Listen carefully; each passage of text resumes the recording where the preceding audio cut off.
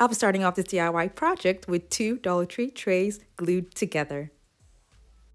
I'll be using hot glue to glue both trays together. Using hot glue like this is going to affect the surface of my trays, but that's not going to bother me that much because it's going to be covered with something else and it won't be noticeable at the end of the day. Now I'm going to go ahead and use tape to measure out how wide my tray is and just how many of the crystals that I'll be using for this project.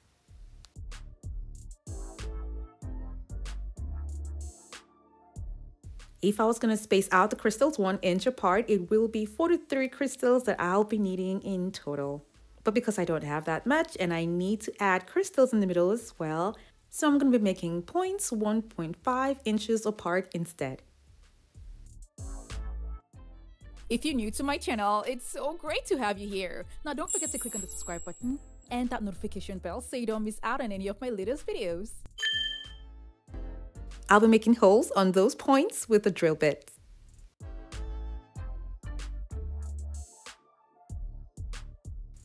This is what it should look like on the other side and I will continue this all round.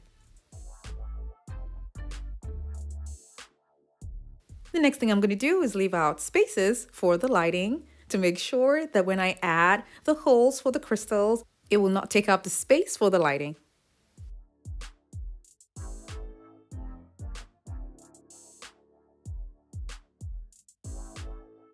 Now I'm just going to have random points around here and make holes on those points.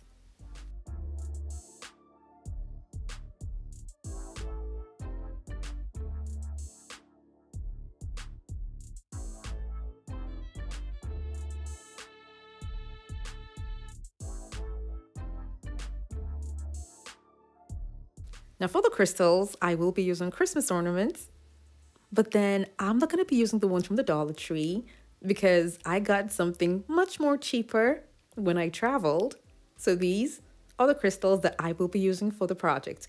Now for those of you that have crystal ornament leftovers, you can definitely use them for this project. I will carefully remove the ornaments from the packs and then pass them through the holes and hold them down with tape.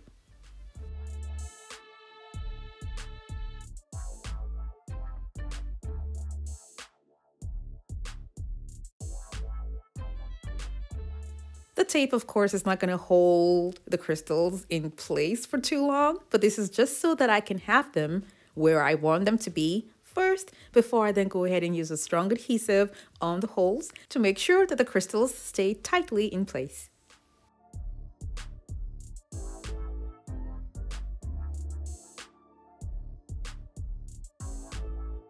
Now, because I didn't have a lot of crystals, I made sure that my spacing was wide. But if you have a lot of crystals, it'll be advisable to have them closely together so that when the lights are on, it will be emitting beautiful lights through the crystals.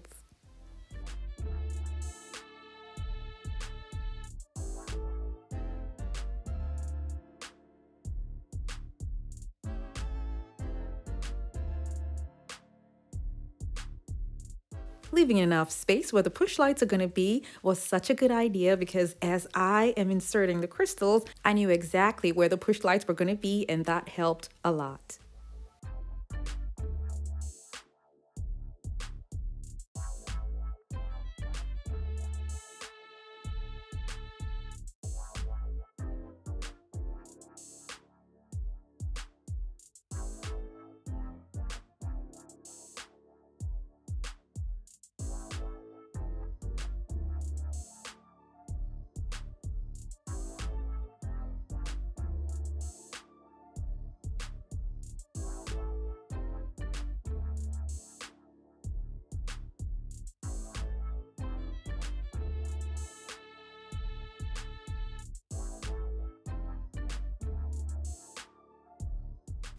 When I was done with this stage, I then went ahead to use a strong adhesive on each and every one of the holes.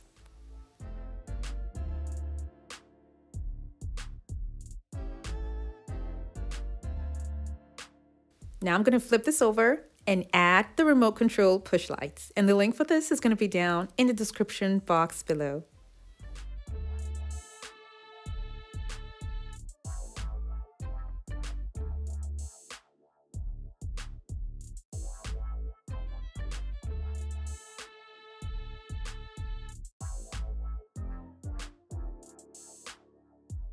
If you want this lighting flushed to the ceiling, you can use command strips at the top here and just have it attached up to the ceiling. But I want mine suspended. Before I get into that, I'm going to be covering up this opening here.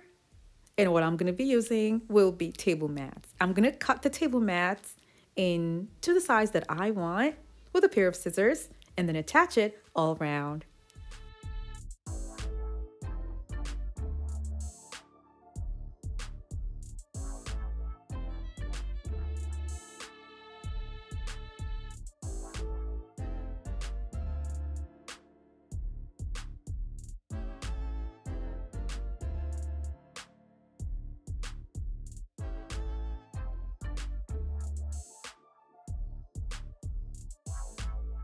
I'm going to be adding up the pieces in such a way that you won't really see where they meet.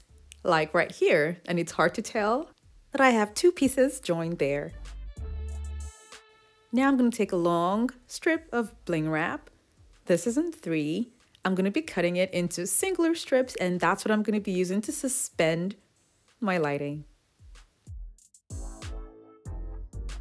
I'm going to pass it through three sides and hold it on the other side with a tight string.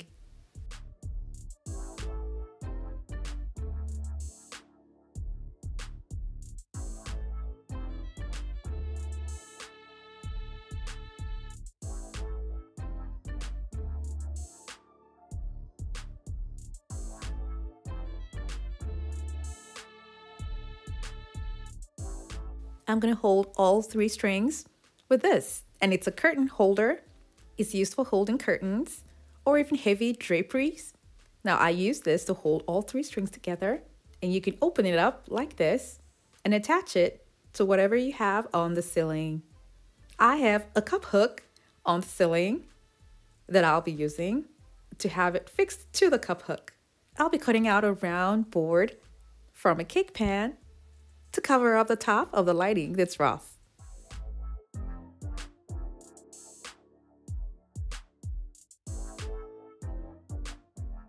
Now I'm going to go ahead and mount this lighting on the cup hook that I have already installed on the ceiling.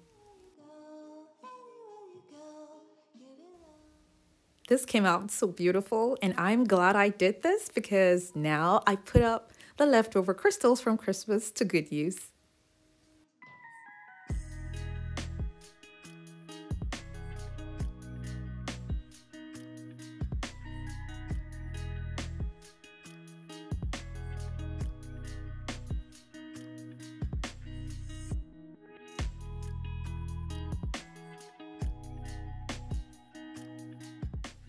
Thank you all so much for watching. I have the home decor DIY videos that are linked in the description box below to check them out. And for those of you who have not subscribed to my channel, don't forget to click on the subscribe button.